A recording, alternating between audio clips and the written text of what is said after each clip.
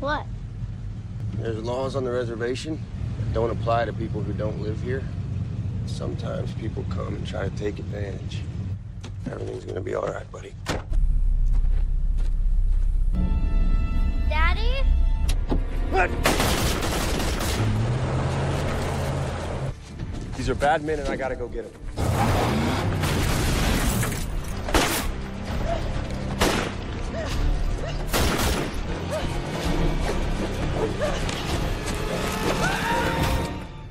You hear me?